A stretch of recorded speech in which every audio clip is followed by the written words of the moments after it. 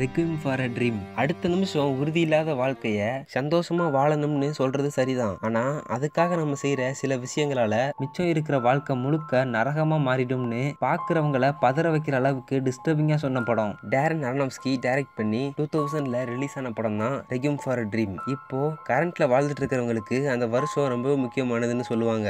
ஏன்னா அது twenty first செஞ்சுரியோட starting அதே மாதிரி தான் சினிமா இண்டஸ்ட்ரியிலையும் அந்த டைம்ல Memento Malena American Psycho In the Mood for Love Cast அமாரோஸ் Amores ரொம்ப நல்ல படங்கள்லாம் வந்தது. அதுல ஒண்ணுதான் ரெக்யூம் ஃபார் ட்ரீம் இந்த படத்துல டைரக்டர் அவரோட மொத்த வித்தியமும் உள்ள இறக்கி இந்த கதையை இப்படிலாம் சொல்லலாமான்னு எல்லாரையும் ஆச்சரியப்பட வச்சாரு. ட்ரக்ஸுக்கு அடிக்ட் ஆன படத்தோட நாலு புரொட்டகனிஸ்டோட வாழ்க்கை நாலு விதமா நாஸ்டாலஜிக்கா நாசமா போன கதையை சொன்ன படம் தான் இது. சாரா கோல்ஃபர்ட் அவங்க ஐம்பது டு அறுபது வயசு இருக்கக்கூடிய ஒரு லேடி ஹஸ்பண்ட் இல்லாத அவங்க லைஃப் ரொம்பவே போரிங்கா போகுது. அவங்களுக்கு ஹேரின்னு ஒரு பையன் இருக்கான். இந்த மாதிரி எல்லா கேரக்டர் கேரக்டர்ஸையும் ரொம்பவே சிம்பிளாக இன்ட்ரோ கொடுத்துட்டு அப்படியே கதைக்குள்ளே கொண்டு போயிடுவாங்க படத்தை சம்மர் ஃபால் வின்டர்னு மூணு சீசனை வச்சு பிரிச்சிருப்பாங்க.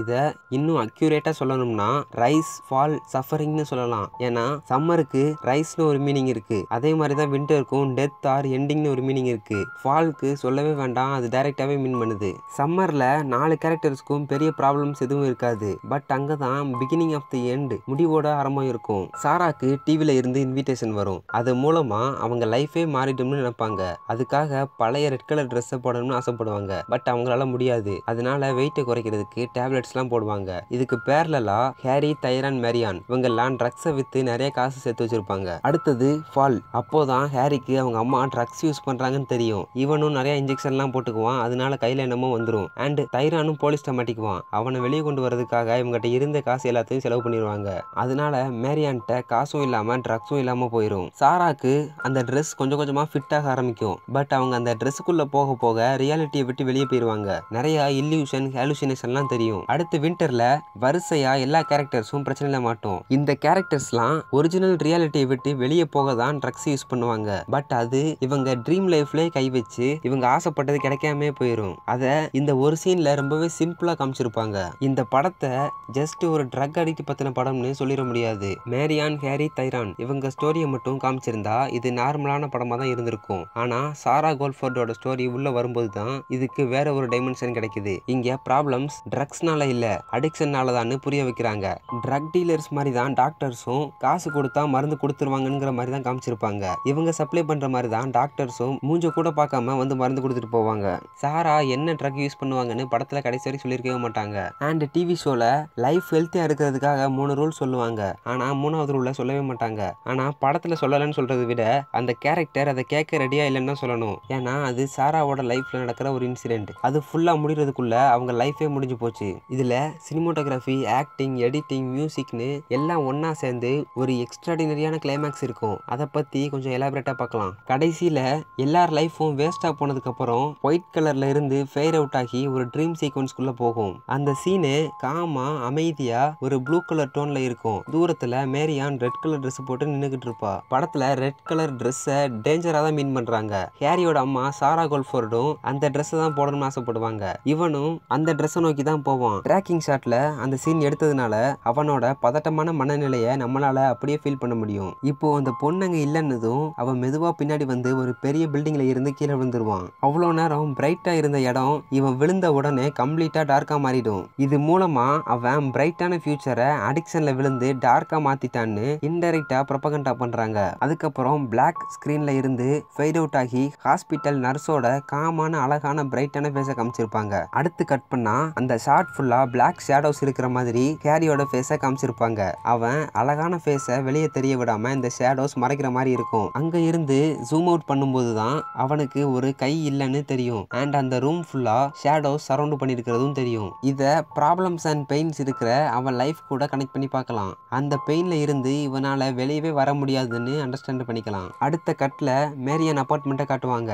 அந்த ரூம் ஃபுல்லாக டார்க்காக தான் இருக்கும். மேரியான் ஒரு பிரைட்டான பிளேஸில் இருந்து இருட்டுக்குள்ளே வருவா. இதுலேயும் டைரக்டர் சிம்பாலிக்கா அவள் லைஃப்பை தான் மென்ஷன் பண்ணுறாரு அண்ட் அவள் அந்த ரூமில் லைட் போட்டதும் அந்த ரூம் ஃபுல்லாக கிழிஞ்சு போன பேப்பர்ஸ் இருக்கும். டார்க்கான அவள் லைஃப் இப்படி தான் கிழிஞ்சு போய் குப்பையாக இருக்குன்னு இண்டிகேட் பண்ணுறாங்க அடுத்து டைரான் ஜெயிலுக்குள்ள பெட்ல போய் உட்காந்துருப்பான் அந்த சீன் டார்க்காக இருந்தாலும் அதுலேயும் லைட் இருக்கும். இவ்வளோ பிரச்சனைக்கு அப்புறமும் இவங்களுக்கு லைஃப்னு ஒன்று இருக்குன்னு சொல்லியிருக்காங்க அடுத்து ஹாஸ்பிட்டலுக்கு சாராவோட ரெண்டு ஃப்ரெண்ட்ஸ் வருவாங்க. அவங்க சாராவை மிரண்டு போய் பார்ப்பாங்க. இவ்வளவு நேரம் மைல்டா போன மியூசிக்கு இப்போ வேற மாதிரி மாறும். ஃப்ரெண்ட்ஸ் ரெண்டு பேருக்கும் வச்ச க்ளோஸ் அப் ஷாட் அண்ட் சாராவோட லுக் இதெல்லாம் சேர்ந்து இந்த சீனை வேற லெவல்ல இன்டென்ஸ் ஆக்கி இருக்கும். அடுத்து ஒரு க்ளோஸ் அப் ஷாட்ல மேரியான காமிச்சிருப்பாங்க. அங்க இருந்து ஜூம் அவுட் ஆகி அந்த மொத்த ரூமையும் காட்டுவாங்க. அவ கையில ட்ரக்ஸ் இருக்கிறதுனால இந்த குப்பைகளுக்கு நடுவுல அவ வாழ பழகிட்டான்னு சொல்றாங்க. அடுத்து இதே மாதிரி ஒரு ஷாட்ல தைரான் ஜெயில உட்காந்துட்டு இருப்பான். அவங்க அம்மாவோட நினைப்புலாம் வந்துட்டு போகும். இந்த சீன்ல டைரக்டர் பெருசா ஒன்றும் சொல்லல. ஆனா நமக்கே புரியும். தன்னோட அம்மாவை பெருமைப்படுத்தணும்னு சொன்னவன் இன்னைக்கு இங்க ஜெயில உட்காந்துட்டு இருக்கான்னு புரியும். அதே மாதிரி சாராவும் ஒரு பெட்ல படுத்திருப்பாங்க. அந்த ரூமை பார்க்கும்போதே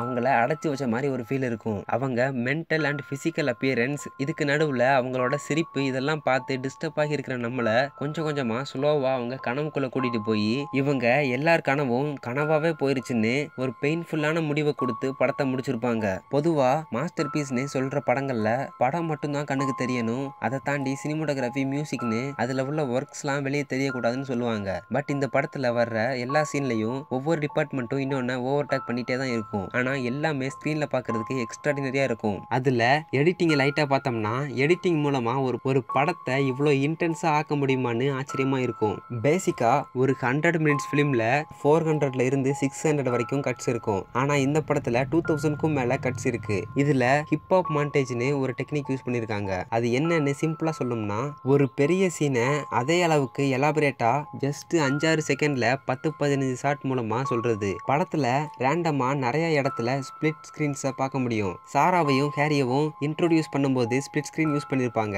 ஹேரிக்கு அவங்க அம்மாவை பிடிக்கும். அவங்க அம்மாவுக்கும் ஹேரியை ரொம்ப பிடிக்கும். ஆனால் அதை வெளியே சொல்லிக்க மாட்டாங்க. இதை ஸ்பிளிட் ஸ்கிரீன் மூலமா அவங்க ஒன்றா இருந்தாலும் தனித்தனியாக தான் இருக்காங்கன்னு ஒரே ஷாட்டில் தனித்தனி ஸ்கிரீன் மூலமா சொல்லியிருக்காங்க ஹேரியும் மேரியானும் ரிலேஷன்ஷிப்பில் இருப்பாங்க. பட் அது சின்சியரான ரிலேஷன்ஷிப் இல்லை. இவங்க ரெண்டு பேரும் சேர்ந்து இருந்தாலும் தனித்தனியா தான் இருக்காங்கன்னு சொல்கிற மாதிரி தான் இந்த சீன்லையும் ஸ்பிளிட் ஸ்க்ரீன் யூஸ் பண்ணியிருப்பாங்க அண்ட் இவங்க ரெண்டு பேரையும் ட்ரக்ஸ் தான் ஒன்றா சேர்த்துருக்கும். அது இல்லாதப்போ தான் இவங்க வேற வேற ட்ராக்ல போவாங்க. அடுத்து ஹிப்ஹாப் மாட்டேஜை இதில் ரொம்பவே சூப்பராக யூஸ் பண்ணியிருக்காங்கன்னு சொல்லலாம். ஒரு ட்ரக் அடிக்ட் அவன் ட்ரக் யூஸ் பண்ணும்போது எவ்வளோ அவசரத்தில் இருப்பான்னு ஹிப்ஹாப் மாட்டேஜ் மூலமாக சூப்பராக காமிச்சிருப்பாங்க. அண்ட் எப்பவும் ட்ரக்ஸ் எடுத்துக்கிட்டதுக்கு அப்புறம் ஒரு லென்த்தியான ஷாட் இருக்கும். இது மூலமாக இவங்களுக்கு கிடைக்கிற அமைதியான மைண்ட் செட்டை சொல்கிறாங்க இதை ஸ்பெசிஃபிக்காக சில சீனில் சொல்லியிருப்பாங்க. ஹேரி அழுகிற சீன்லையும் மேரியான் சோகமாக இருக்கிற சீன்லையும் இன்ஜெக்ஷன் போட்ட உடனே நார்மல் ஆகிடுவாங்க. இது மாதிரி ஒவ்வொரு சீனுக்கும் மீனிங்கோட ரொம்பவே சூப்பராக பண்ணியிருக்காங்க. இப்படி லைட்டிங் சவுண்ட் எடிட்டிங்னு எல்லா டிபார்ட்மெண்ட்லையும் இவ்வளோ டீட்டெயில்ஸ் இருக்கிற படத்தை சில பேர் டிஸ்டர்பிங்னு சொல்லி ஒரு பக்கம் ஒதுக்கி வச்சிடுறாங்க.